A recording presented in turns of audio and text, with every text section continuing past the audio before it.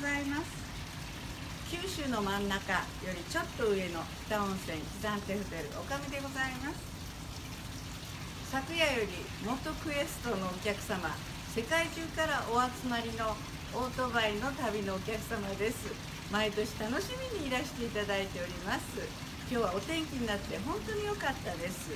そして北梨の組合から北梨のジュースができたとのご案内がございました。北の梨大変美味しいです。